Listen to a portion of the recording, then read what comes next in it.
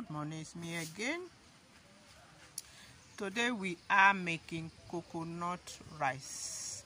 So the main ingredient today is coconut and rice. So how we use coconut, everybody knows coconut.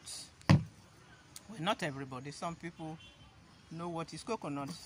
You can eat it like that, just scoop it and then you eat it like that or you use it to make uh, cream for the skin. I use it, coconut cream, it's all over the world. That's what they use for coconut cream. But that's a different day.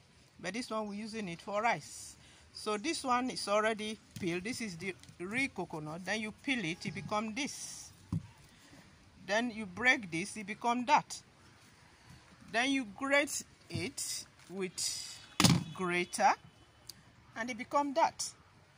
Then you add water to the coconut to get the water because it's the water we're going to use for the rice. So we're going to strain it.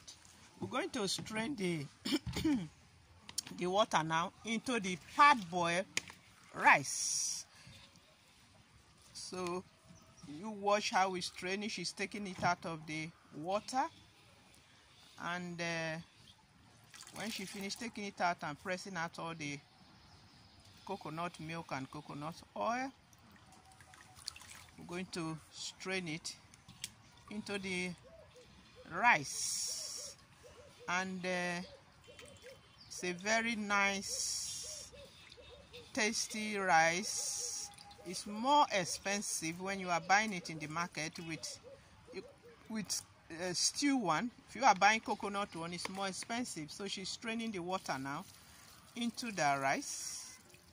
You can see all the milk and all the water she adding going inside it. So when she finish adding the water you can see the amount of coconut milk inside the rice.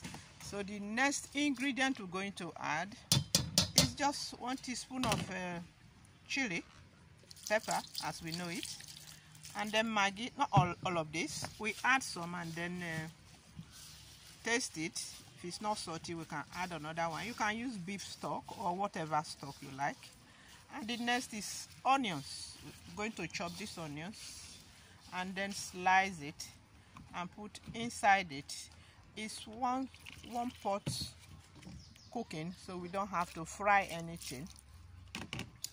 Uh, so i'm going to leave you lot for now. Once it's finished cooking for 20 or 25 minutes i will show you people and then we taste it together If I show you how they slice the onions. thanks for watching Uh,